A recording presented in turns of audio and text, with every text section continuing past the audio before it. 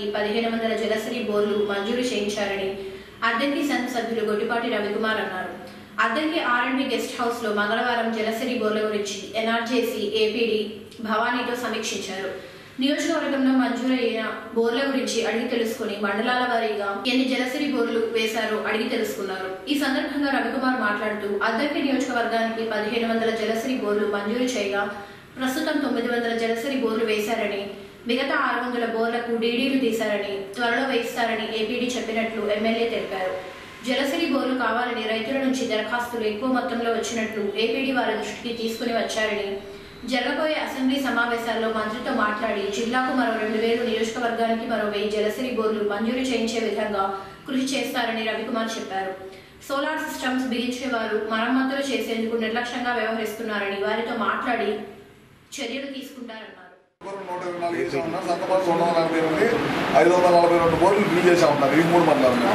అద్దంకి పల్లికూర సంతపాములు మిగతా జయపములు అమ్మ మన పదిహేను వందలు ఉన్నాయి. అంటే ఆల్రెడీ తొమ్మిది వందలు అయిపోయింది. ఇంకా ఏడు వందలు ఉన్నాయి. ఇంకా ఆరు వందలు ఉన్నాయి. మనం ఆరు వందలు కాక ఇంకేమైనా కావాలంటే ఇవ్వచ్చా? రెండు వేలు వేయాలి కదా. దాదాపు ఎన్ని రోజులు తిరిగాను నేను దానికోసం ఆ. నా కాన్స్టిట్యున్సీకి ఎందుకంటే నేను అంటే మళ్ళీ కోడ్ వచ్చిందని నా భయం. కొంచెం తొందరగా లాగేసి చేస్తే బాగుంటుందని నా ఉద్దేశం. నేను అడుగుతాను రేపు. ఎంత కావాలి చెప్పండి? రేపు లోకేష్ గారికి అనుకుంటాను మా జిల్లాకి. ఇంకో రెండు వేలు వచ్చినా అయిపోతుంది రెండు వేలు అందులో మనకు వెయ్యి కావాలి. అంతే కదా? మనకి పది వందలు వచ్చాయి కాబట్టి ఇంకో వెయ్యి అయితే మనకి రెండు వేల ఐదు వందలు. అయితే మ్యాక్సిమం మనం ఫ్రీగా ఉంటాం. కంఫర్ట్గా ఉంటాం. ఇప్పుడు పదిహేను వందలు తొమ్మిది వందలు అయిపోయి ఇంకా చేద్దాం. రేపే మాట్లాడతాం. మా కనీసం నాలుగు నెలలు తిరిగాం. దీనికోసం. ఈ ఐదు మండలాల్లో డీటెయిల్ కట్టి ఎన్నో ఉన్నాయండి జాగలమూడు వేల పాలు ముప్పాలు ఇవన్నీ నేను కలెక్టర్ గారికి ఇచ్చిన ఇచ్చి కొద్దిగా ఫీజుబుల్ అనేది బండి అనేది ఫీజుబుల్ లెక్క మనకి. బండి ఉంది కాబట్టి కొద్దిగా అది పెట్టుకోవాలి. ఇప్పుడు మరి దానికి కూడా ఉంది ఏపీ ప్రాబ్లం ఉంది. ఇప్పుడు శంకర్ వచ్చారు నా పొద్దునే మాదేమన్నా డీటెయిల్స్ వాళ్ళకి ఏ పని జరగట్లా ఆ ఊరికి. ఆ ఊరికి వాటర్ షెడ్ అంటే అవన్నీ తీసుకుని ఇప్పుడు ఎలాగలిగిన మొత్తం కానిచ్చేసి లేట్ చేయకుండా. లేదు అందరికీ మనం గట్టిలో అందరూ చేయగలుగుతాం నాకు నేను కొన్ని లెటర్లు ఇచ్చాను. అవి కొద్దిగా అవి కొద్దిగా చూడండి ఒకసారి ఇంకా మీ దగ్గర పంపిస్తాను. ఇంకో వెయ్యి కూడా తీసుకుంటాను నేను. ఈ పదిహేను వందలు కాక ఇంకొక ఐదు వందలు కూడా ఇక్కడ లోకల్ అడ్జస్ట్మెంట్ అవుతుందో చూడండి.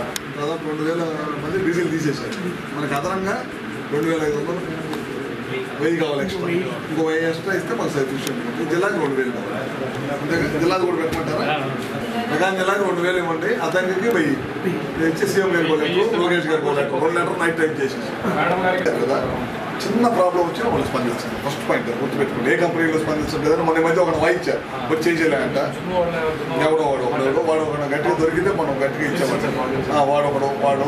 ఇంకా ఇవాళ పొద్దున కూడా ఎవరు వచ్చారు. చిన్న రిపేర్లకి దాంట్లో ఎక్కడైనా ఆ టెక్నికల్గా ఎవరికి తెలియదు.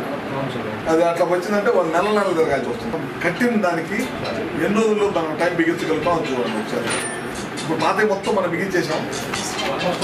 అయిపోయింది. ఏ ఏళ్ళలో మంచి కంపెనీ ఎవరు చూసి ఆ కంపెనీకి ద్వారా పని చేయించాం టూ కంపెనీలు తాత్కాలికంగా పెట్టే కంపెనీలకు ఇవ్వాలి.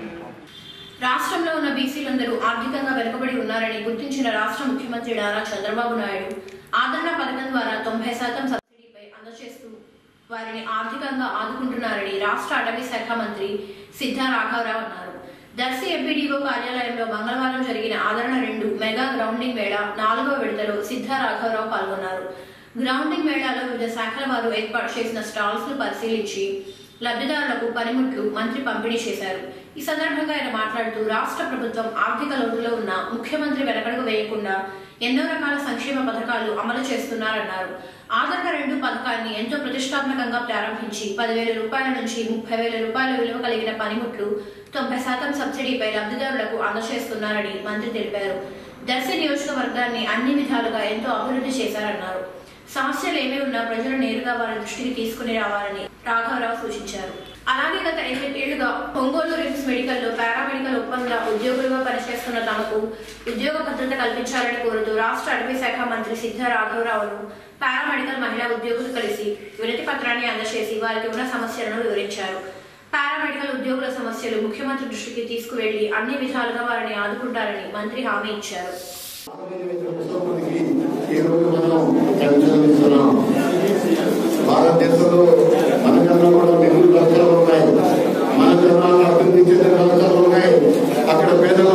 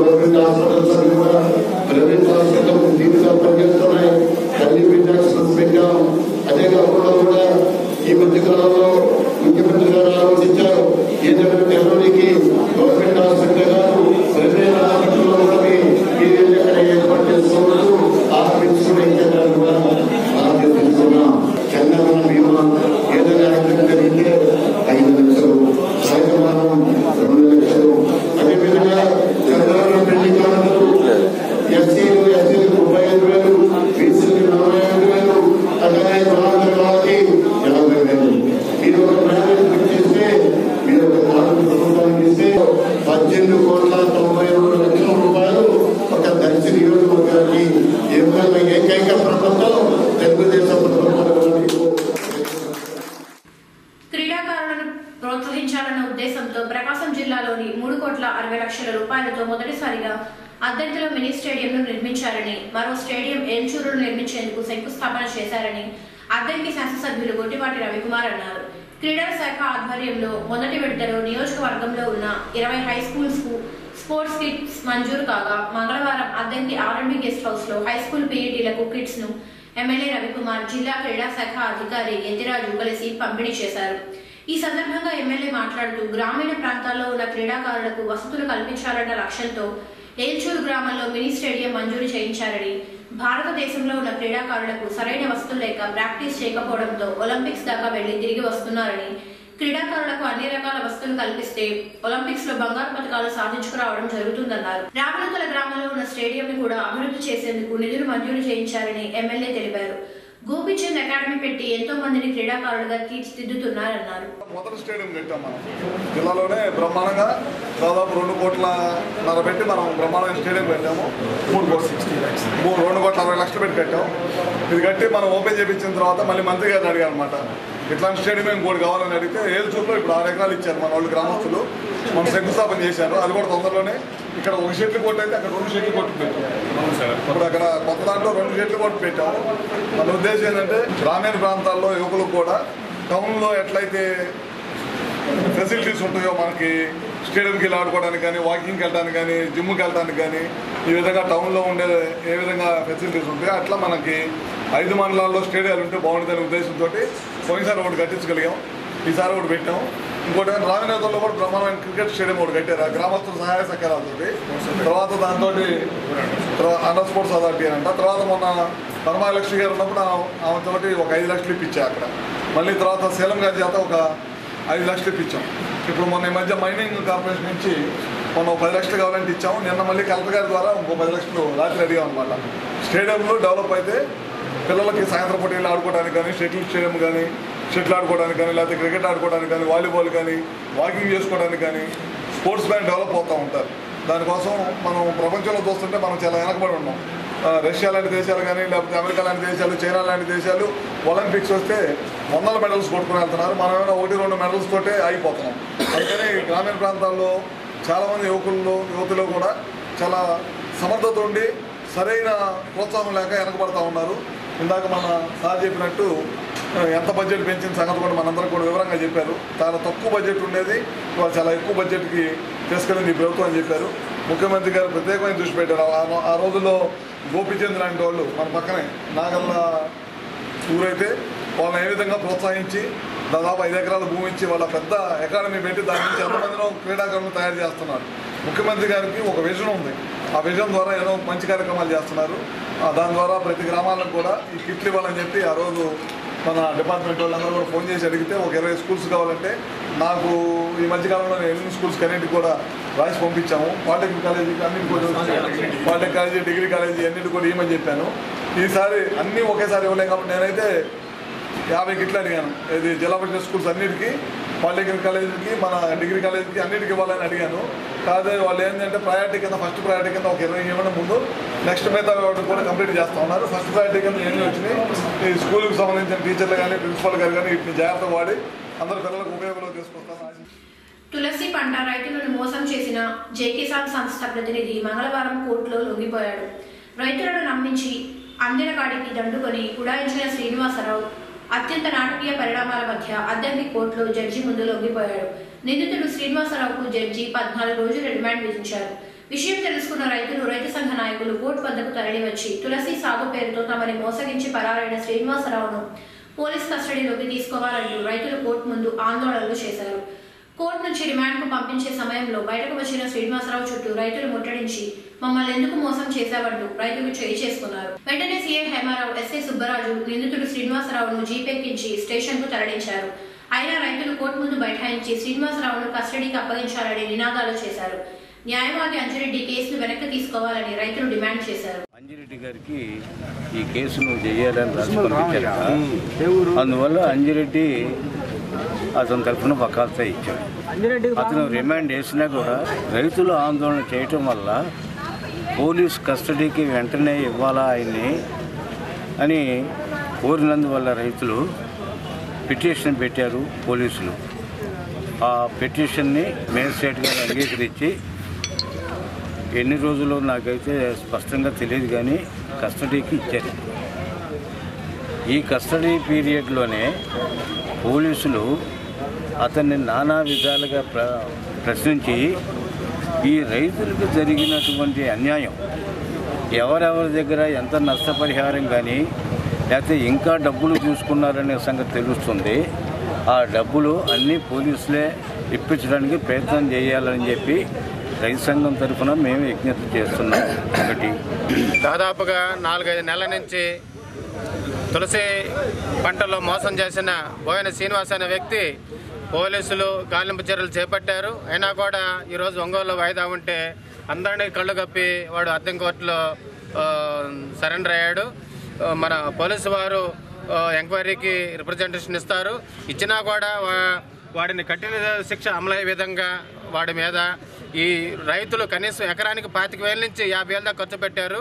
అది నష్టపరిహారం రాబట్టాలంటే వాడు లోపల పోయాడు అని చెప్పి రైతులు ఏమాత్రం కూడా ఆధారపడద్దు అతనికి సంబంధించిన అతనికి సపోర్ట్ చేసిన గవర్నమెంట్ అధికారులు ఎవడైనా సరే వాళ్ళు రేపు ఉదయాన్నే పే- పత్రికాముఖంగా ప్రకటన ఇవ్వాలా ఈ నష్టపరిహారాన్ని మేము చెల్లిస్తామని. లేని పక్షంలో తుది వరకు కూడా అంతిమ వరకు కూడా పోరాటం ఆగేది లేదని చెప్పి రైతుల సంఘం తరపున ప్రజా సంఘాల తరపున రైతుల అందరి తరపున మేము డిమాండ్ చేస్తున్నాం.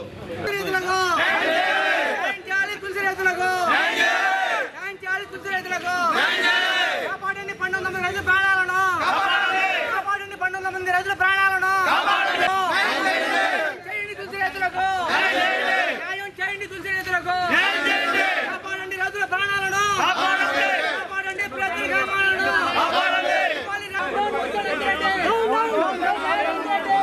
down down lorry Andireddy down down lorry Andireddy down down lorry Andireddy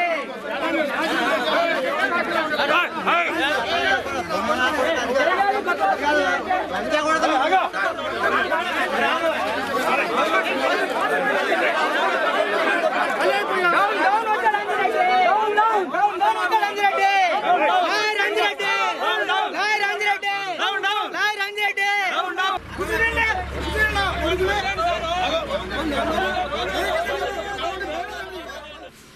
అర్హులైన వారందరికీ ఆదరణ రెండు పథకం ద్వారా వారు కోరుకున్న ముప్పై శాతం రాయితీపై అందజేయడం జరుగుతుందని అద్దెకి నగర పంచాయతీ కమిషనర్ డివిఎస్ నారాయణరావు అన్నారు.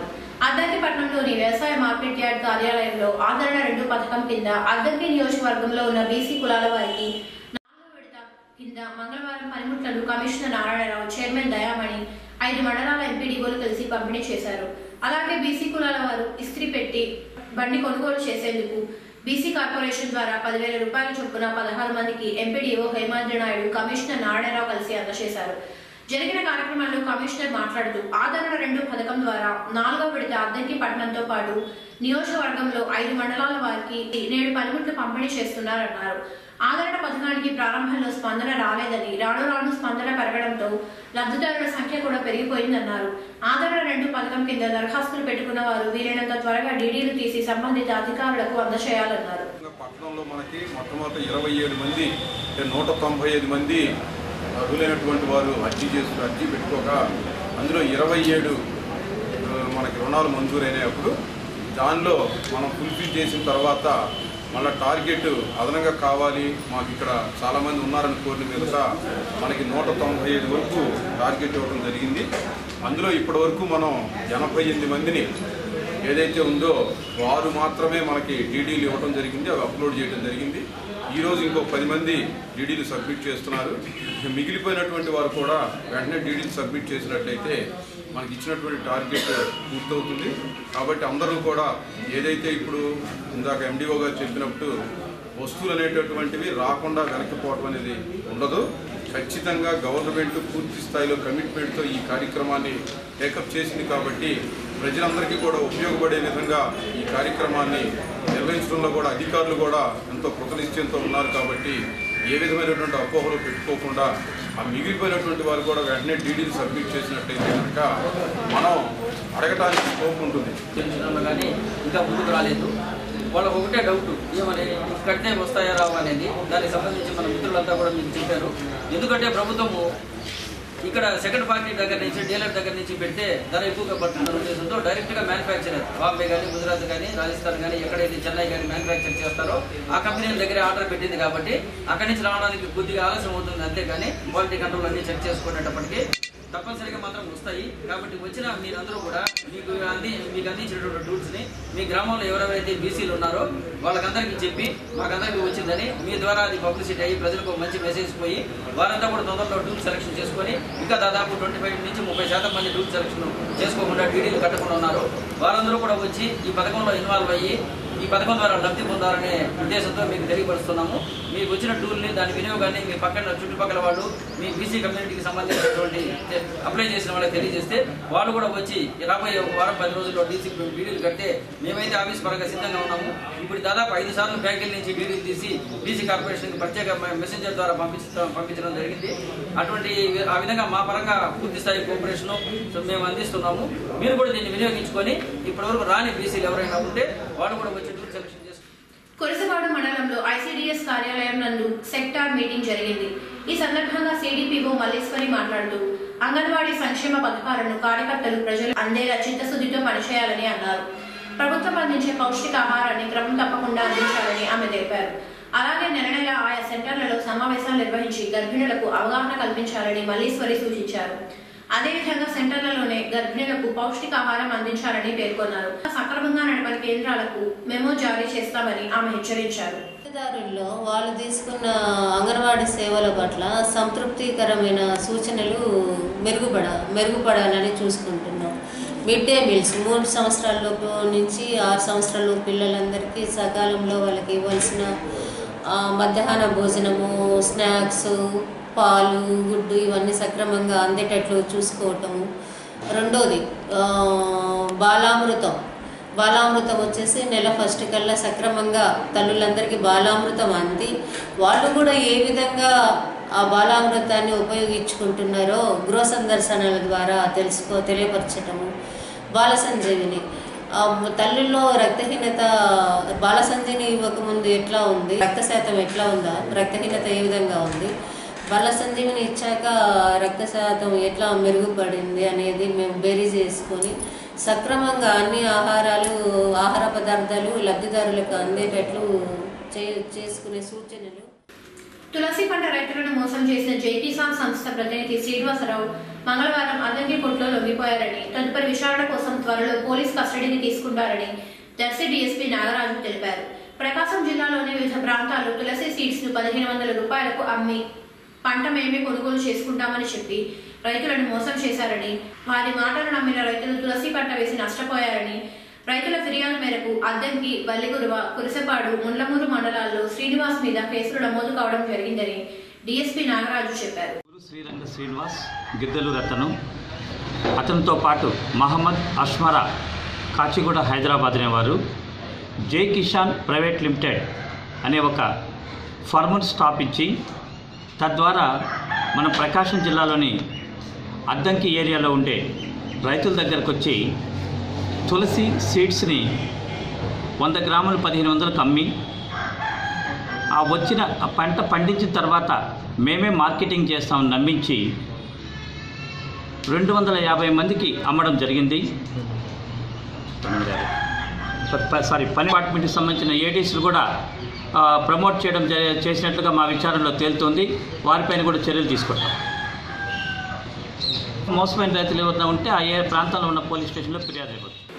రాష్ట్ర ముఖ్యమంత్రి నారా చంద్రబాబు నాయుడు ఆంధ్రప్రదేశ్ రాష్ట్ర విశ్వబ్రాహ్మణ ఫెడరేషన్ను ఫెడరేషన్ను బీసీ కార్పొరేషన్గా మారుస్తూ ప్రకటన చేయగా మంగళవారం అద్దంకిపట్నంలోని విశ్వ బ్రాహ్మణ సంఘం కార్యాలయంలో విశ్వ బ్రాహ్మణ సంఘ నాయకులు చంద్రబాబు నాయుడు చిత్రపటానికి పాలాభిషేకం చేశారు. ఈ సందర్భంగా విశ్వ బ్రాహ్మణ సంఘం రాష్ట్ర కార్యదర్శి చెన్నుపల్లి శ్రీనివాసాచారి మాట్లాడుతూ రాష్ట్రంలో ఇరవై లక్షల మంది ఉన్న విశ్వ బ్రాహ్మణుల సంక్షేమం కోసం గతంలో ఆంధ్రప్రదేశ్ విశ్వ బ్రాహ్మణ ఫెడరేషన్ను ప్రకటించారని సోమవారం జరిగిన బీసీ గర్జన సదస్సులో రాష్ట్ర ముఖ్యమంత్రి చంద్రబాబు నాయుడు సంఘీయుల ఆంక్షలను మన్నించి కార్పొరేషన్గా మారుస్తూ ఉత్తర్వులు జారీ చేస్తున్నట్లు ప్రకటించారని అదేవిధంగా చేతి వృత్తుల వారికి నూట యాభై యూనిట్లు ఉచిత విద్యుత్ అందిస్తారని హామీ ఇవ్వడం జరిగిందన్నారు. అలాగే రాజకీయాల్లో కూడా బీసీలకు ప్రాధాన్యత కల్పిస్తారని చంద్రబాబు చెప్పినట్లు శ్రీనివాసాచారి తెలిపారు. ఒక చరిత్రాత్మక దినంగా మేము భావిస్తున్నాం. ఎందుకంటే ఇరవై లక్షల మంది ఉన్న విశ్వబ్రాహ్మణుల యొక్క సంక్షేమం కోసం వాళ్ళని అభివృద్ధి ఆలోచించి సంఘీయుల కోరిక మేరకు ఆంధ్రప్రదేశ్ రాష్ట్ర విశ్వబ్రాహ్మణ ఫెడరేషన్ని ఇచ్చున్నారు గతంలో. దాన్ని నిన్న బీసీ గర్జన సదస్సులో గౌరవనీయ ముఖ్యమంత్రి నారా చంద్రబాబు నాయుడు గారు మరి మా సంఘీయుల ఆంక్షని మన్నించి దీన్ని కార్పొరేషన్గా మారుస్తూ త్వరలో ఉత్తర్వులు జారీ చేస్తూ అన్నారు. అలాగే చేతి వృత్తుల వారికి నూట యాభై యూనిట్ల వరకు కరెంటు రాయితీ ఇస్తామన్నారు. మరి భవిష్యత్ కాలంలో రాజ్యాధికారంలో కూడా విశ్వబ్రాహ్మణుల యొక్క సంక్షేమాన్ని విశ్వబ్రాహ్మణుల్ని గౌరవిస్తూ రాజకీయ ఉన్నత పదవుల్లో కూడా వాళ్ళకు అవకాశం కల్పిస్తామని వారు ప్రకటన చేసి ఉన్నారు. మరి దానిలో కృతజ్ఞాభావంతో ఈరోజు విశ్వబ్రాహ్మణ సంఘీయులందరూ పెద్దలతో కలిసి యద్దంగి పట్టణ సంఘ ఆధ్వర్యంలో మరియు చంద్రబాబు గారి నాయుడు మాకు ప్రకటించిన వరాన్ని గుర్తించి మరి భవిష్యత్తు కాలంలో చంద్రబాబు నాయకత్వాన్ని ఇక్కడ స్థానికంగా తెలుగుదేశం పార్టీ తరఫున పోటీ చేసిన గొట్టిపాటి రవికుమార్ నాయకత్వాన్ని బలపరుస్తూ విశ్వబ్రాహ్మణ సంఘీయులందరూ కూడా ఈరోజు గౌరవనీయ ముఖ్యమంత్రి నారా చంద్రబాబు నాయుడు గారికి పాలాభిషేకం చేయడానికి సంఘీలందరూ సమాయత్తమై ఉన్నారు. మరి భవిష్యత్తు కాలంలో మేము తెలుగుదేశం పార్టీకి అండదండలుగా ఉంటామని తెలియపరుస్తూ కురసపాడు మండలం గుడిపాడు గ్రామంలో సెంట్రల్ టీం పర్యటించింది. ఇళ్ళు లేని వారిని గుర్తించి వారి వివరాలను అడిగి తెలుసుకున్నారు. తెలుగుదేశం పార్టీ నాయకులు రవీంద్ర ప్రధానమంత్రి ఆవాస యోజన పథకం ద్వారా అర్హులైన వారికి వసతి కల్పించాలని సెంట్రల్ టీంను కోరారు. ఈ కార్యక్రమంలో హౌసింగ్ ఏఏడిఈ సిబ్బంది పాల్గొన్నారు. రైతులు పంటలు సాగు చేసే సమయంలో ఎంపీఈఓలు రైతుల వద్దకు వెళ్ళి ఎటువంటి పంటలు వేస్తున్నారో అడిగి తెలుసుకొని సలహాలు సూచనలు ఇవ్వాలని కురసపాడు మండలం వ్యవసాయ శాఖ అధికారి ప్రసాదరావు అన్నారు. అద్దంకి వ్యవసాయ మార్కెట్ యార్డ్ కార్యాలయంలో అద్దంకి డివిజన్ పరిధిలో ఉన్న ఎంపీఈఓలకు రెండవ రోజు శిక్షణ తరగతులు సాగు విషయంలో తీసుకోవాల్సిన జాగ్రత్తల గురించి అవగాహన చేశారు. జరిగిన శిక్షణలో మాట్లాడుతూ వాతావరణం పరిస్థితులను బట్టి రైతులు ఎటువంటి పంటలు వేసుకోవాలో గ్రామంలో రైతులకు వివరించాలన్నారు. వాతావరణం అనుకూలంగా లేకుండా రైతులు పంటలు సాగు చేయడం వలన రైతులు నష్టపోయి అప్పుల పాలవుతున్నారన్నారు. సాగు విషయంలో ప్రతి రైతు ఎటువంటి మెళుకువలు పాటించాలో ఎంపీఓలు వారికి అర్థమయ్యే విధంగా వివరించాలన్నారు. ఈ ఏడాది వాతావరణం అనుకూలించగా రైతులు వేసిన పంటలు ఎండుముఖం పట్టాయని ప్రసాదరావు గుర్తు చేశారు. పైరు ఉంది కంది ఉంది ప్రత్తి ఉంది మొక్కజొన్న ఉంది. వీటిల్లో ఎక్కువ తీసుకునేటువంటిది మొక్కజొన్న ఎక్కువ తీసుకుంటుంది. ప్రతి ఎక్కువ తీసుకుంటుంది. ఒక్కసారి గుర్తు పెట్టుకోండి కొండ గుర్తులు. కాయలు ఎక్కువగా కండలు ఎక్కువగా వచ్చే ఏ పైరైనా సరే అది బొప్పాయి కావచ్చు మొక్కజొన్న కావచ్చు పత్తి కావచ్చు కాయలు కండలు ఎక్కువగా వచ్చేటువంటి పైరు ఏదైతే ఉందో అది ఏలుగు పైరు. ఎక్కువ ఆహారాన్ని తీసుకుంటుందని దాని అర్థం. అంటే పోషకాలు ఎక్కువ అందించాలి దానికి ఖచ్చితంగా. కాబట్టి కొండ గుర్తుగా మనం ఏం పెట్టుకోవాలి అని అంటే ఏ పైరైతే మనము వేసామో దానికి ఏ పైరుకైనా సరే పంట కాలాన్ని బట్టి మూడు నెలలు అవ్వచ్చు లేకపోతే నాలుగు నెలలు అవ్వచ్చు ఆరు నెలలు అవ్వచ్చు సంవత్సరం కావచ్చు. ఉదాహరణకి మామిడి అనుకుందాం ఊరకు అనుకుందాం. మామిడికి ఎప్పుడు అవసరం అవుతుంది? ఇప్పుడే అవసరం ఇప్పుడే ఇప్పుడే పూత బాగా వచ్చేసింది జనవరి నెల కల్లా డిసెంబర్ చివరి నుంచి జనవరి నెల కల్లా పూత వచ్చేస్తుంది. ఫిబ్రవరిలో పూత చిన్న గింజ. Narasaraopet Eswar college of engineering కళాశాలలో మంగళవారం ప్రపంచ ఆటోమొబైల్ దినోత్సవ వేడుకలు నిర్వహించారు. కార్యక్రమానికి ముఖ్య అతిథిగా ఆర్టీఓ కేవీ సుబ్బారావు హాజరై ప్రారంభించారు. సందర్భంగా ఆయన మాట్లాడుతూ ఆటోమొబైల్ రంగం భారతదేశం అభివృద్ధి పథంలో నడుస్తుందని ఆంధ్రప్రదేశ్ రాష్ట్రంలో కూడా Kia Motors Isuzu Hero Motors మొదలగు ప్రముఖ ఆటోమొబైల్ కంపెనీలు ఉద్యోగ అవకాశాలు ఉన్నాయని విద్యార్థులు ఈ అవకాశాన్ని వినియోగించుకోవాలని సుబ్బారావు తెలిపారు. కురసపాడు మండలం మేద్రమెట్ల గ్రామంలోని పైలాన్ వద్ద ఆటో బోల్తా పడింది. దీంతో ఆటోలో ప్రయాణిస్తున్న వారికి గాయాలయ్యాయి. పోలీసులు సంఘటనా స్థలానికి చేరుకుని క్షతగాత్రులను రిమ్స్కు తరలించారు. డ్రైవర్ అతివేగంతో ఆటో అదుపుతప్పి బోల్తా పడిందని పోలీసులు తెలియజేశారు. క్షతగాత్రుడు ముండ్లమూరు మండలం పోలవరం గ్రామానికి చెందిన వారిగా గుర్తించారు. మున్సిపల్ కార్మికులు పొట్టకొట్టే రెండు వందల డెబ్బై ఆరవ జీవోను వీరడంతో త్వరగా రద్దు చేసి కార్మికులకు ఉన్న సమస్యలను పరిష్కరించాలని లేకపోతే ఆందోళనలు తీవ్రంగా ఉంటాయని మున్సిపల్ కార్మికుల సంఘం నాయకులు వెంకట్రావు అన్నారు. రెండు వందల డెబ్బై ఆరవ జీవోను తక్షణమే రద్దు చేయాలని కోరుతూ మంగళవారం అద్దంకి నగర పంచాయతీ కార్యాలయం వద్ద నగర పంచాయతీ కార్మికులు ధర్నా చేశారు. రెండు జీవోను రద్దు చేసే సమస్యలు పరిష్కరించాలని నినాదాలు చేశారు. సందర్భంగా వెంకట్రావు మాట్లాడుతూ రెండు వందల డెబ్బై ఆరవ జీవోను రద్దు చేయాలని కోరుతూ రాష్ట్ర వ్యాప్తంగా ధర్నాలు చేస్తున్నారని సమాన పనికి సమాన వేతనం ఇవ్వాలని కార్మికుల సంఘం తరపున డిమాండ్ చేస్తున్నారన్నారు. పాత బకాయిలు కూడా పెండింగ్లో ఉంచారని తక్షణమే విడుదల చేయాలని వెంకట్రావు తెలిపారు. సమస్యల పరిష్కారం కోసం ఫిబ్రవరి ఒకటవ తేదీ నుంచి నిరవధిక సమ్మెలోకి వెళ్తున్నారన్నారు. రాష్ట్ర ముఖ్యమంత్రి నారా చంద్రబాబు నాయుడు మున్సిపల్ కార్మికుల పట్ల వివక్షత చూపుతున్నారని వెంకట్రావు మండిపడ్డారు. ఆఫీసులో ప్రతి ఒక్క ఆఫీసులో రెండు వందల డెబ్బై తొమ్మిది జీవోను రద్దు చేసి కార్మికులకు సమాన వేతనం పద్దెనిమిది రూపాయలు ఇవ్వాల్సిందిగా మున్సిపల్ కార్మికులంతా డిమాండ్ చేస్తున్నారు. కావున ఇప్పుడు ఏరియర్స్ పెట్టారు.